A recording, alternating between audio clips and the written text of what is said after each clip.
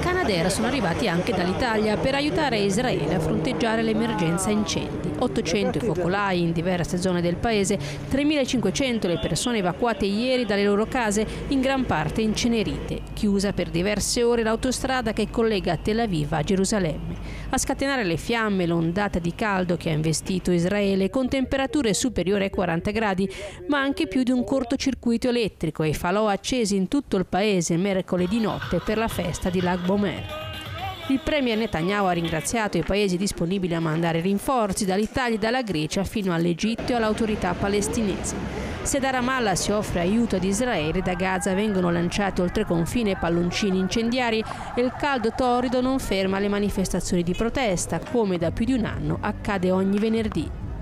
La situazione a Gaza è terribile, specialmente per i giovani. Non c'è lavoro o viene pagato una miseria, ci racconta Khaled, che ha ottenuto un permesso di uscita per ragioni di salute accompagnato da sua moglie Damis. Due dei nostri undici figli sono scappati verso la Grecia, non abbiamo loro notizie. La tregua a Gaza per ora regge, mentre il premier Netanyahu fatica a formare un nuovo governo, tanto che i media locali paventano un ritorno alle urne. Il motivo dello stallo sono le posizioni contrastanti di due partiti alleati del Likud sulla controversa riforma del servizio militare obbligatorio, da cui sono esentati solo gli ebrei ultraortodossi.